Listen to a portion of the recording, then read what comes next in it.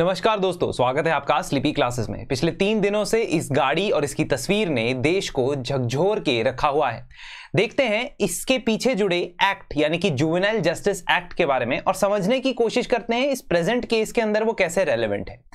देखिए juvenile justice act से पहले घटना क्या हुई थी? अनिश अवधिया और अश्विनी कोष्ठा, ये दो इंजीनियर्स थे, जिन्हें एक स्पीडिंग पोर्शा गाड़ी ने पुणे के कल्याणी नगर के अंदर मौत के घाट उतार दिया। 17 and a half year old son of a realty businessman was driving that vehicle. और उस व्यक्ति के लेके जो आगे की घटनाएँ हुई हैं, उसमें कंट्री में और सोशल मीडिया में बहुत ज़्यादा न्यूज़ और चर्चा का विषय बन गया। अगले दिन जब उस व्यक्ति को, जो कि 18 साल से कम उम्र का है जुवेनाइल जस्टिस बोर्ड के पास ले जाया गया तो उन्होंने उसे बेल दे दी, साथ ही में कुछ हिदायतें दे दी, जैसे कि ऐसे लिखे ऑन रोड सेफ्टी एटसेट्रा और उसे रिलीज़ कर दिया। लेकिन वेडनेसडे को, इसी जुबेनाइल जस्टिस बोर्ड ने उन्हें जून फाइव तक कह दिया कि वो ऑब्जर्वेशन केयर होम में रखा जाए। जेल क्यों नहीं भेजा गया इनको? आइए जानते देखिए juvenile justice care and protection of children act was pass in 2015 इसका मतलब यह नहीं है कि इससे पहले जुवेनाइल जस्टिस के लिए कानून नहीं होता था।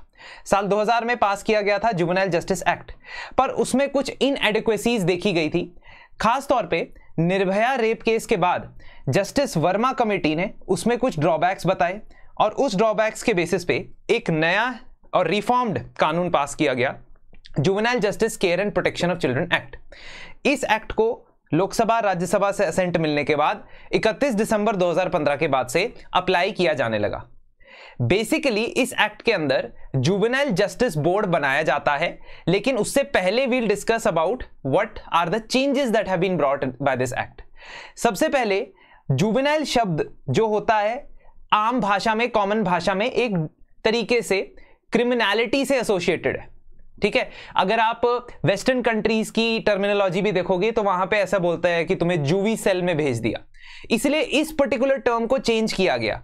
और चाइल्ड और child in conflict with law ये टर्म इस्तेमाल होते हुए देखेंगे आप इस पर्टिकुलर कानून में। So that because there will be many children who will be in conflict with law in conflict with law का मतलब है कि हो सकता है कि वो किसी तरीके का क्रिमिनल ऑफेंस करते हुए पाए जाते हैं। तो ऐसे बच्चों के लिए हम जुवेनाइल शब्द यहाँ पे यूज़ नहीं करेंगे। कुछ definitions most importantly categorisation of offence किया गया। यानी, किस प्रकार का ऑफेंस एक हीनियस ऑफेंस है, किस प्रकार का ऑफेंस एक सीरियस ऑफेंस है, और किस प्रकार का ऑफेंस एक पेटी ऑफेंस है, इन तीन कैटेगरीज में उसे डिवाइड किया गया। Already existing Indian criminal law के अंदर, अगर किसी भी क्राइम में आपको सात साल से ज़्यादा तक की सजा मिलेगी तो मिनिमम पनिशमेंट जहाँ पे मिनिमम है ये मिनिमम पनिशमेंट जहाँ पे सात साल से ज़्यादा की है, वो हीनियस ऑफेंस कहलाएगा। ये याद रखना है क्योंकि आगे मैं इसके बारे में और बताऊँगा। सीरियस ऑफेंस वो होगा जिसमें तीन से सात साल की इंप्रिजनमेंट हो और एक पेटी ऑफेंस वो होगा जिसमें मैक्सिमम तीन साल की इंप्रिजनमेंट हो। अब This is very relevant because the new Juvenile Justice Act, that is 2015 Act, has certain changes and provisions regarding this. तो इसे आप याद रखिए। इसके अलावा ये पर्टिकुलर कानून एक जुवेनाइल जस्टिस बोर्ड बनाने के लिए कहता है। जो भी children in conflict with law है उनका ट्रायल नॉर्मल कोर्ट में नहीं चलेगा। There are exception which I talk about juvenile justice board एक जुडिशियल बॉडी है जिसमें इन बच्चों को सामने लेके आया जाएगा। इस जुवेनाइल जस्टिस बोर्ड में तीन मेंबर रहेंगे और हर एक डिस्ट्रिक्ट में स्टेट गवर्नमेंट्स को कहा गया है कि आपने एक जुवेनाइल जस्टिस बोर्ड बनाना है। तीन मेंबर में से एक मेंबर जो होंगे, वो मेट्रोपॉलिटन मैजिस्ट्रेट या जुडिशियल मैजिस्ट्रेट यानी कि जज होंगे, जिनके पास कम से कम तीन साल का एक्सपीरियंस रहेगा। और बाकी के दो मेंबर सोशल वर्कर्स हो सकते हैं और उसके लिए भी इन्होंने बताया कि कौन से क्राइटेरिया अप्लाई कर सकते हो टू अपॉइंट सोशल वर्कर्स इसके अलावा दूसरा इंस्टीट्यूशन जो इसमें बनाया गया है, वो है चाइल्ड वेलफेयर कमेटी। हर डिस्ट्रिक्ट में एक चाइल्ड वेलफेयर कमेटी भी बनाई जाएगी, ताकि जो भी children in conflict with law हैं, उनकी लर्निंग प्रोसेस, उनकी न्यूट्रिशनल प्रोसेस, उनकी रिहेबिलिटेशन प्रोसेस, उनकी साइकोलॉजिकल काउंसलिंग प्रोसेस, इन सारी चीज़ों का ध्यान रखा जाए। अब जैसे ही कोई बच्चा बच्चा यानी कि चाइल्ड इसमें है 18 ईयर्स से बिलो आगे मैं 16 टू 18 ईयर्स के बारे में बात करूँगा। So if any child child means below 18 years of age who is in conflict with law is apprehended by the police तो उसे सबसे पहले तो नॉर्मल पुलिस लॉकअप में नहीं रखा जाएगा, एक स्पेशल जिवलाइन पुलिस यूनिट में रखा जाएगा। इसके साथ साथ जैसा कि नॉर्मल कानून में होता है हमारे देश के, एक 24 घंटे के टाइम पीरियड के अंदर उस बच्चे को इन लेके जाया जाएगा जेजेबी, यानी कि जुवेनाइल जस्टिस बोर्ड के पास। और इसके बाद जुवेनाइल जस्टिस बोर्ड असर्टेन करेगा प्रीलिमिनरीली कि क्या उसको बेल देनी है, या उस व्यक्ति को एक चाइल्ड केयर होम में भेजना है। अब इस पर्टिकुलर केस जिसकी हम बात कर रहे हैं, उसमें जब जुवेनाइल जस्टिस बोर्ड के पास ले जाया गया, उस दिन एक ही मेंबर जो कि नॉन जुडिशियल मेंबर थे प्रेजेंट थे। और उन्होंने कहा कि इसको बेल दे दो चाइल्ड केयर इंस्टीट्यूशन भी नहीं भेजा उसको, और ना ही उसको कोई सजा सुनाई बिकॉज़ अभी सजा सुनाने का टाइम नहीं था। इनिशियल हियरिंग में बस ये असरटेन करना था कि इस बच्चे की कस्टडी या रिमांड या इसकी प्रेजेंस कहाँ पे होगी। That was the only purpose case को डिस्कस नहीं किया गया। उसके बाद, अब बात आती है ऑफेंसेस की, और अब बात आती है एज कैटेगराइजेशन की। जो बच्चे 16 से 18 साल की उम्र में हैं अगर वो हीनियस ऑफेंस करते हुए पाए जाते हैं तो हीनियस ऑफेंस आपको याद होगा, मैंने बताया था क्या होता है। अगर वो हीनियस ऑफेंस करते हुए पाए जाते हैं तो ऐसे बच्चों को एज एन एडल्ट भी ट्राई किया जा सकता है। It is not a compulsion that every such child will be treated as adult but juvenile justice board की यह रिस्पॉन्सिबिलिटी होगी कि वो अपनी प्रीलिमिनरी असेसमेंट करे। उस प्रीलिमिनरी असेसमेंट में बच्चे की साइकोलॉजिकल काउंसलिंग और टेस्टिंग करे, जिससे यह असरटेन किया जाए कि क्या उसे एडल्ट की तरह ट्राई किया जाना चाहिए या नहीं। निर्भया केस के बाद ये पर्टिकुलर अमेंडमेंट स्पेसिफिकली लाया गया, क्योंकि बहुत सारे बच्चे who are on the cusp of adulthood सोलह, सत्रह ऑलमोस्ट एटीन ईयर्स के जो बच्चे होते हैं यह आर्ग्यू किया गया कि उनकी मेंटल डेवलपमेंट ऑलमोस्ट एडल्ट जितनी है तो उनको इस तरीके का लीवे क्यों, खास तौर पे हीनियस ऑफेंसेस में? तो इसको ऐड किया गया।